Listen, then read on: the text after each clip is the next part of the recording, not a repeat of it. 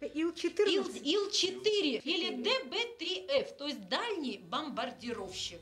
И вот этот самолет бомбил Берлин. Да, би- бомбил Берлин.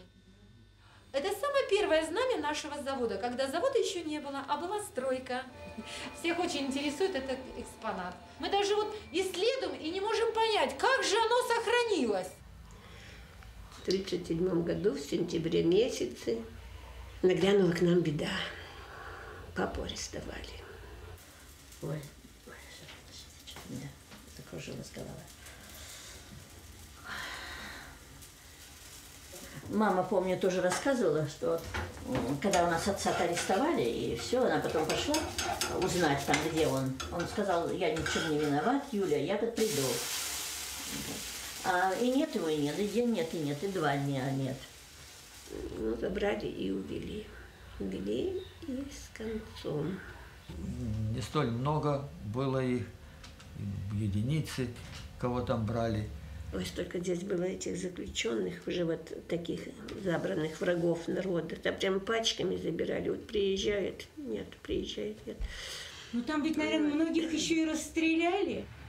И многих-то не многих, наверное, все-таки. Ну, не было такого, что, ах, тут то-то, то-то случилось. Ну, случилось, случилось, значит, разберутся, что тут. Нет, ну у вас начальника стройки посадили, там было. начальника стройки.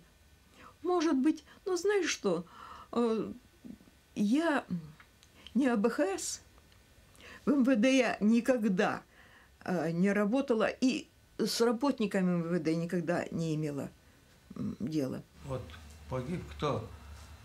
Вот Жданов наш, Иван Михайлович, директор завода. Когда только построили завод, он был директором.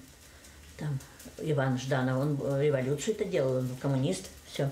Ну и потом его арестовали тоже. А толпа кричит, да, да, да, арестовать, такой секой, все ругают.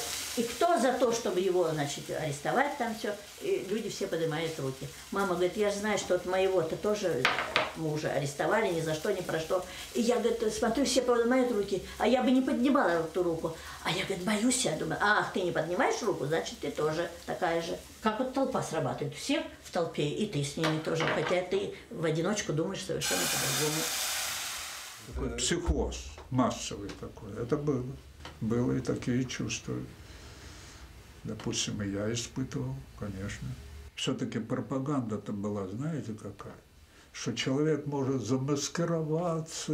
Ведь были люди, которые, э, которые стреляли в спину, которые говорили то, что, значит, будьте вы прокляты и все такое. Так что с ними, чикаться?